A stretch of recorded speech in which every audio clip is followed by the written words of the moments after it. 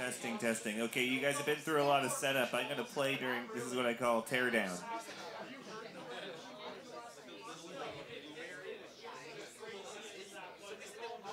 Thank